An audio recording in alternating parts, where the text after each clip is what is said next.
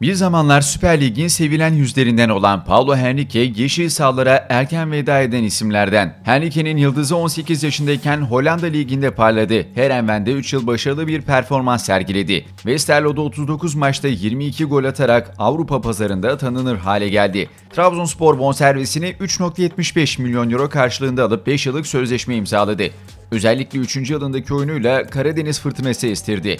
32 maçta 13 gol 8 asistle oynadı. Cüssesine rağmen bileklerine hakim ve çalım atabilen bir golcüydü Brezilyalı. 4 milyon euro bedelle Çin'e gitti.